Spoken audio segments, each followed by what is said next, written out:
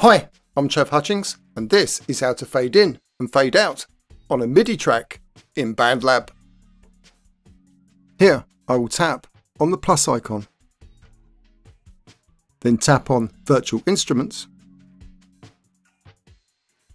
scroll through the tabs,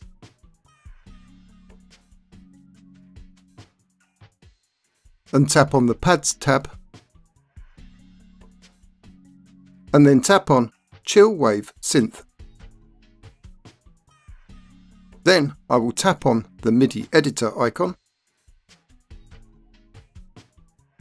and add a two bar note by tapping on the first square. And then dragging the end of the note.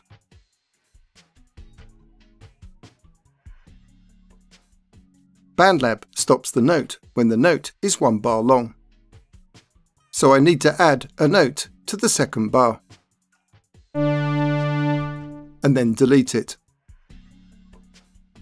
And now I can drag the end of the first note to the end of the second bar.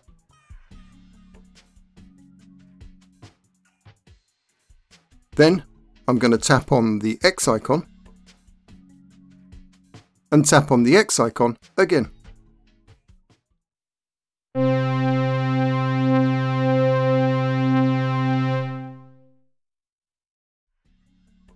To add a fade in to this MIDI note, tap on the automation icon. The automation line should now appear on the virtual instrument track, with a pop-up drop list that says volume. Now tap at the start of the automation line on the virtual instrument track to add a dot to the automation line. Then tap on the automation line on the virtual instrument track again where you want the fade in to stop.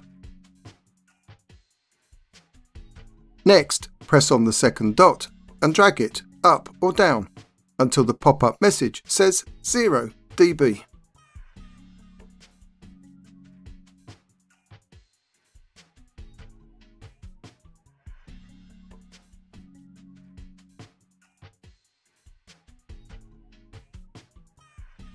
Then press on the first dot and drag it all the way down.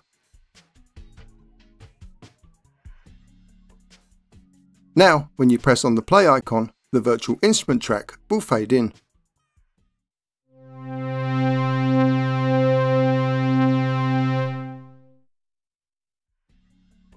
To fade out, add a dot to the automation line where you want the fade out to start. And add a dot where you want the fade out to end. Then drag the first dot up or down until the pop-up message says 0 dB.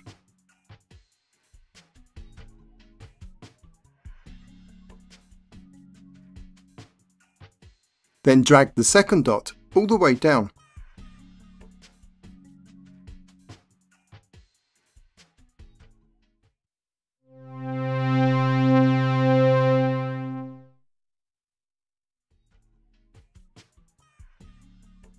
Finally, tap on the automation icon to hide the automation lines. Although the automation lines are now hidden, the fade in and fade out still work.